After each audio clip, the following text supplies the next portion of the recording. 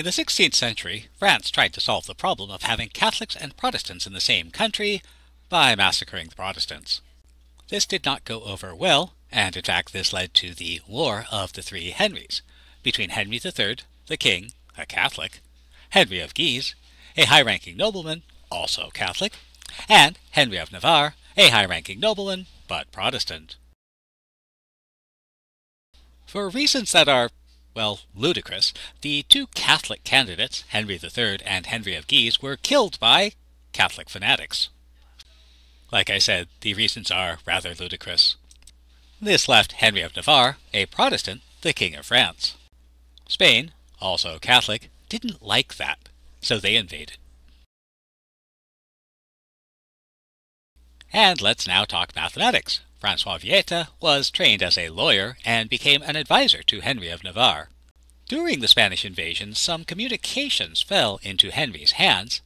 They were encrypted, so he gave them to Viète, who decoded them and gained information about Spanish troop movements. This played at least some role in Henry's eventual victory, and as a matter of political expediency, Henry of Navarre, once Protestant, declared himself Catholic but he did guarantee the right of the Protestants to worship as they pleased. This was the so-called Edict of Nantes. More importantly, the cryptography that Viète did may have caused Viète to revolutionize mathematics. Viète began the practice of using letters to represent the unknown, the vowels A, E, I, O, U, and Y. While this is true, it wasn't revolutionary.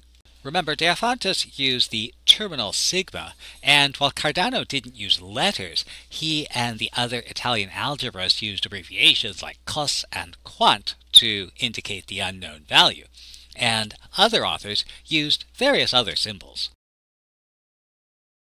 Viète's real contributions were much more significant. He allowed consonants to represent definite but unspecified coefficients. B, G, D, C, and so on. And this allows us to write a general equation.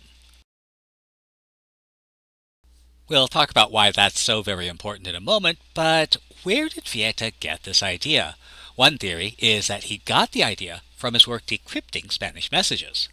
Now, a defect of the Spanish code is that they didn't encrypt numbers. For example, a message might say something like, send 10,000 X and 500 Y. And we have to use the magnitude of these numbers to give him some insight into what X and Y might represent. In this case, since there's a lot of X, you could suspect it represented something you typically have a lot of, for example, infantry. On the other hand, since there's a lot less Y, they might be something a lot more rare, for example, cavalry. And perhaps Vieta got to thinking something along the following. If the Spanish used letters to represent both the number and the quantity, the codes would have been much harder to break. Send AX and BY. So why is it so very important that Vieta started using letters to represent definite but unspecified values? Well, let's consider two solutions to the quadratic equation.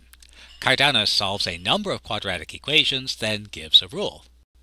So for square and roots equal number, Cardano directs the reader to add the number to the square of half the number of roots, take the square root of the whole, and then subtract half the number of roots. And this is an algorithm. It tells the reader exactly how they solve the quadratic equation by giving them a sequence of steps to follow. But now for Vieta, square and root equal number is the equation a squared plus 2ba equal to c, where he used the 2 for reasons that will become obvious below. So if we follow the same steps as Cardano, we want to add the number to the square of half the number of roots. Well, we're going to add the number c and half the number of roots squared, b squared. Then take the square root. Then subtract half the number of roots. And here's the important difference. The expression incorporates all the steps into a single formula. In other words, Vieta was the first to write down the quadratic formula. And here's one of those early appearances.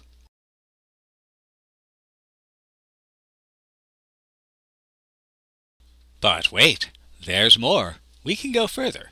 Consider an equation where the numbers are written out. For example, 3x plus 5 equals 12.